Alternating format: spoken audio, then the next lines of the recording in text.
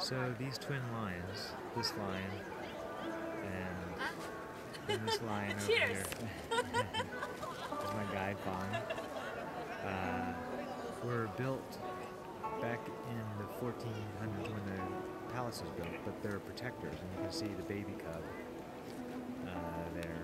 So this is the female lion and the male lion. So from very early on, recognizing the dual role for protection and support.